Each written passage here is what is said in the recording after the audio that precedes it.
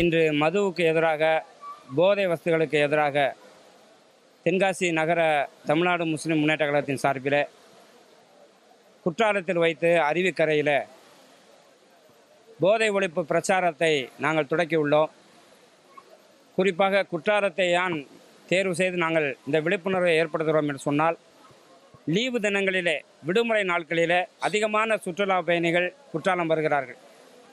அந்த குற்றாலம் வரக்கூடிய வாகனங்களில் பெருவாரியான பேர் மது அருந்தி கொண்டு வாகனங்களை ஓட்டுவதன் காரணமாக அதிகமான விபத்துகள் ஏற்படுகிறது.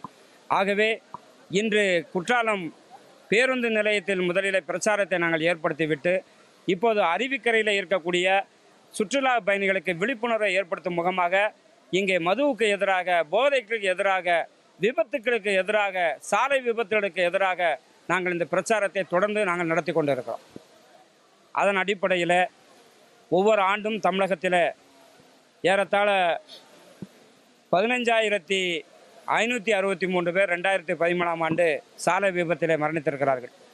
அந்த மரணத்தை தவிர்க்க வேண்டும் என்ற ஒரே காரணத்தோடும் விபத்தில்லாத தமிழகத்தை உருவாக்குவோம் மரணம் இல்லாத ஒரு வ- பயணத்தை மேற்கொள்வோம் என்ற அடிப்படையில் இந்த விபத் இந்த இந்த பிரச்சார இயக்கத்தை நாங்கள் தொடக்கியிருக்கிறோம். தொடர்ந்து இதை மேற்கொள்வோம் மக்கள் விழிப்புணர்வு ஏடும் ஏற்படும் வரை நாங்கள் தொடர்ச்சியாக இந்த பிரச்சார இயக்கத்தை நாங்கள் தொடங்கி நாங்கள் நடத்துவோம்.